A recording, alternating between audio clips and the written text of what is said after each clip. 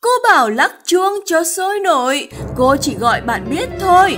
Nam sinh thật thà làm theo và cái kết đơ người.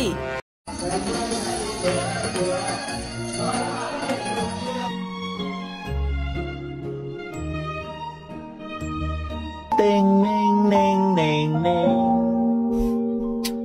Ku menahan rasa sakit Rasa sakit